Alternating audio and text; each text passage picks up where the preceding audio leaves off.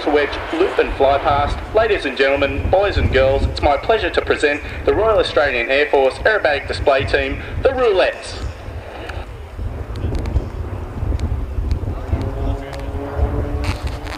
Now the aircraft you're seeing today, ladies and gentlemen, is the Pilatus PC-9. It's a Swiss design, Australian ma manufactured aircraft. Has two ejection seats in a tandem configuration. That means one behind the other. A maximum speed of about 600 kilometres an hour and a range of about 1,000 kilometre manoeuvre, the deep big crossover. From the right, roulettes 1, 2, 3, 5 and 6 are in a large inverted V and from the left, roulette 4 will pass directly through the centre of the formation, missing by only metres. Watch close. In roulette 2 position today we have Flight Lieutenant Paul Bryan. Paul joined the Air Force in 1988, initially as an aircraft technician.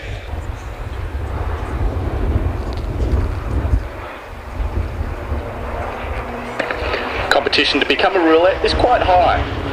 The team devote a lot of free time. They've got about 10 years experience, mainly in flying instruction. Now once roulette 4 rejoins the formation, they'll be setting up for the next manoeuvre. The wedge rollbacks rejoin to Vulcan.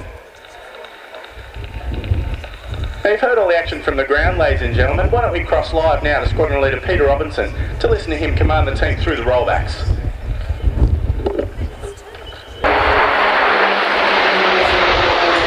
Now the smoke you're seeing generated today is a mineral oil and diesel mix. It's injected into the right exhaust stub of the PC-9 where it's vaporised by the 800 degrees Celsius temperatures. Not only is it visually impressive, it also helps the team locate each other in times of poor visibility. From the front now, the team setting up for the next manoeuvre, the Concord Loop and Pairs Split. You'll see roulettes 5 and 6 depart the formation at the beginning of the manoeuvre.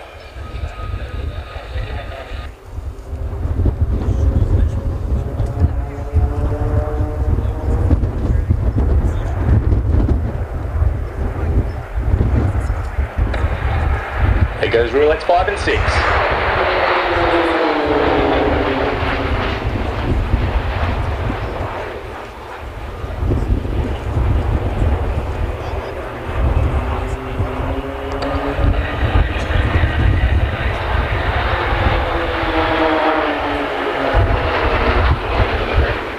Now roulettes 5 and 6 are setting up for their turn. It's the half lazy 8, rolling cross and pairs stall turn.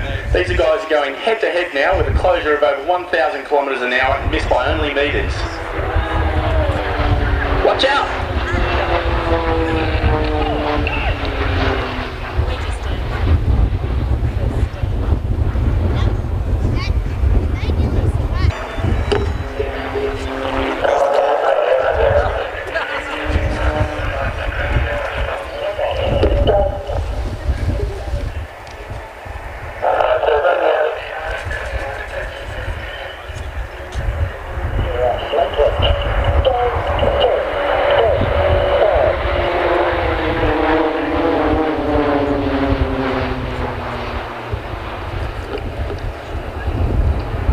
To some people this actually looks like one of the more easier manoeuvres.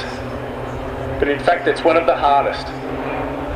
These guys are about 500 feet above the ground. They're missing each other by about 6 feet. This is no illusion ladies and gentlemen. These guys are directly on top of each other.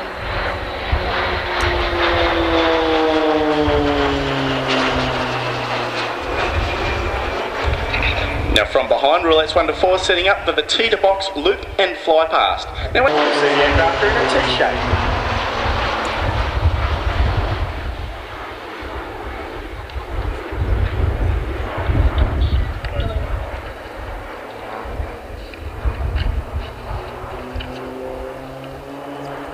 Now see the formation shape has changed and we're, they're exiting in a box.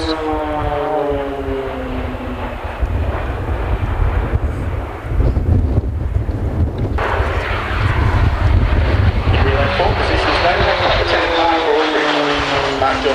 Lieutenant in 1987. And after completing pilot's course was posted to fly the P3C Orion. After completing flying instructor course, he was posted to number 2 flying training school. Mark was lucky enough to go to the United States Air Force on an exchange posting to fly the T-37. Mark has over, has over 4,500 hours experience and it's his first season with the Roulettes. Roulette 4 is flying a barrel roll over the, around the complete formation.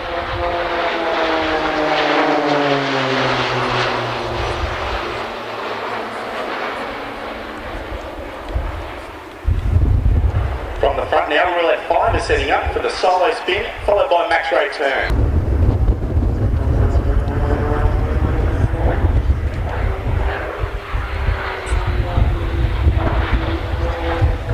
From the right now, the team setting up the card 5 loop and fly past. This is very difficult for roulette 2. Roulette 2 has his head turned 90 degrees to the left. He's flying formation off roulette 1. Imagine trying to drive a car by looking out the side window. See that how you do it? Our training to become a roulette is quite extensive. The roulettes undergo an intensive three-month training program, beginning, beginning at a formation of two, working, working up to a formation of six. Flying at altitudes of 4,000 feet, working their way down to 500 feet before being cleared for public flying.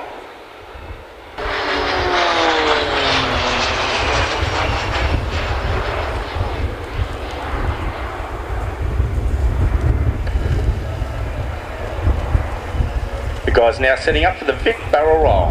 Roulette 5 will rejoin formation during this manoeuvre. This requires a tremendous sense of timing and judgment.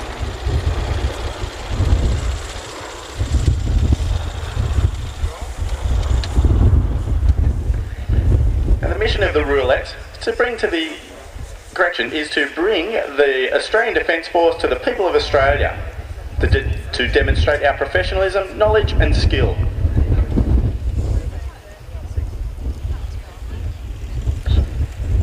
Going to leave you now with the voice of Squadron Leader P. Eagle Robinson, the roulette leader, as they set up for the next manoeuvre and final manoeuvre, the Delta Luton Cascade.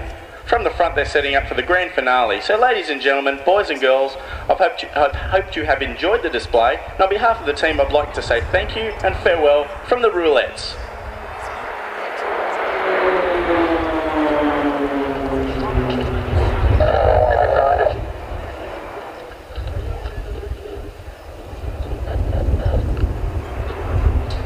Watch closely.